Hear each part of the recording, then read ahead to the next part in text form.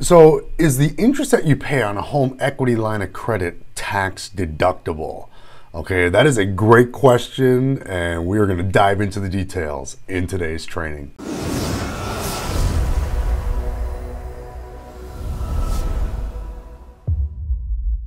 Hey everyone, it's Mike Adams, and on this channel, we empower individuals to achieve freedom through improved financial literacy and business ownership. If you are new to the channel, make sure to click subscribe and click the bell so that way you get notified on any and all of our future content. So, in today's video, we're going to be discussing is the interest that you pay on a home equity line of credit tax deductible? Okay, and uh, that is a fantastic question, and it's something that you know, for those that are proponents of using strategies like velocity banking where we're paying down the mortgage, you know, there's been people that have came back and said, well, Mike, you know, I don't want to pay down my mortgage because I get that mortgage interest deduction, right? And and, and they're excited about that. And so, um, you know, they want to um, maybe not pay down the mortgage because they want that deduction. Um, and obviously, my argument to that is, well, we're paying interest to get a deduction um, and a lot of interest, depending on your mortgage. You know, there's other ways to get a deduction, right? Um, you know, and that, and that's just one of the deals. You know, when um, when I was in corporate America W two, you know, there's only about 15 deductions that are available to you, and then the mortgage interest deduction was always one of the biggest ones. So you, I mean, you want to be able to max it out and you know get all that. Um, but this is where the benefits of opening and starting a small business come into play. As a business owner, you know, now there's you know 400 plus you know deductions depending on your, the type of business and how you're structured that you can actually take advantage of to lower uh, your tax liability. And so when you have other ways to create deductions that mortgage interest deduction um, that that again you're only getting because you're paying interest okay uh, becomes less important to cling on to. There's again there's other ways to get deductions. Okay, uh, but the bottom line is, if you can deduct, we we want to. And, and if and if you're going to use a HELOC and you're going to pay any interest on a HELOC, whether it's for velocity banking or for or for investing or for whatever you know consolidating debt, you know whatever you're using HELOC for, you know is the interest that you pay on it still tax deductible since it's secured by the equity in the property. And so, great question. So, to start, okay, understand that there are limits to mortgage interest deductions. And, and this has all really changed over the last couple of years. Now, if you took out your mortgage before 2018, the, uh, the cap was at 1 million. Okay, so the interest expense that you're paying on up to $1 million uh, worth of uh, property, obviously with a mortgage on it, um, you get to deduct up to uh, that first million, okay, worth of uh, the interest that you're paying. Now, if you took out the mortgage after 2018, then the, the cap was brought down to 750,000.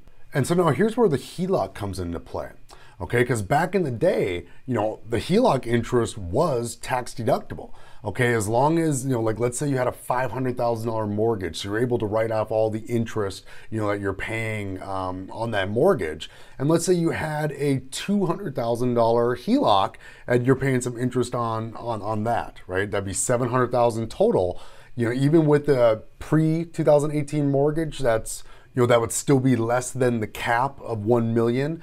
Um, and also on a new mortgage, uh, you know, post uh, 2018, you know, you'd still you'd be at 700,000 there, so you'd still be at less than the 750,000 dollar cap. Um, and so with the old rules, you would be able to deduct all of that interest, right? But one other thing changed. Not only did they reduce the amount of mortgage interest that you could deduct, they also changed the rules around how um, how much HELOC interest um, you could actually deduct. And they based it on what the HELOC was used for. Okay.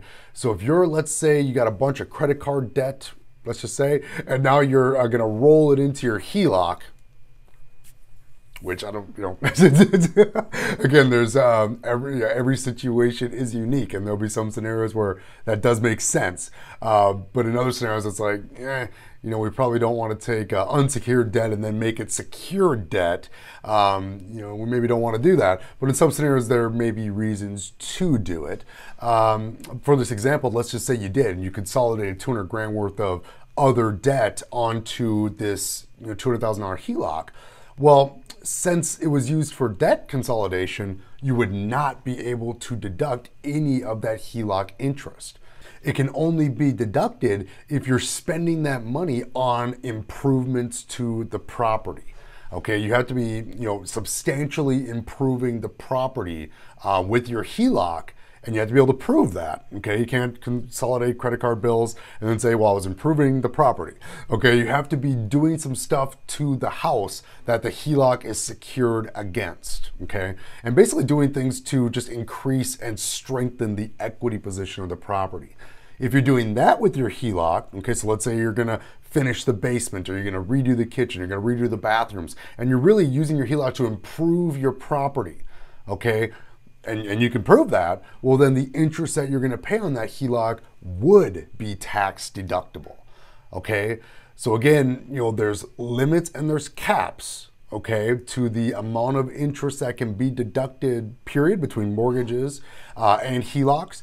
But then as well, there's also that restriction on, you know, you can only deduct the interest if you use your HELOC to do home improvements and do things to substantially improve the value of the property. As long as you're doing that, then HELOC interest is tax deductible for you. And you're again under uh, now that, you know, if you got a new loan, that's $750,000 cap, okay? And if you have an old loan, you got up to a million there.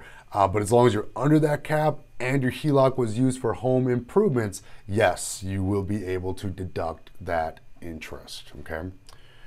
So again, great question. And again, this is one that came in from one of our subscribers. And so as you go through the videos on this channel, you know, uh, me and my team, we are looking at all these comments every single week, and we look for uh, you know recurring themes. You know, as you guys have questions about certain topics, uh, if we see that a couple of different times, or if it's something that you put in there that's just unique, um, we will certainly uh, look to create a piece of content just like this that answers that question, and that way others can benefit from the training as well.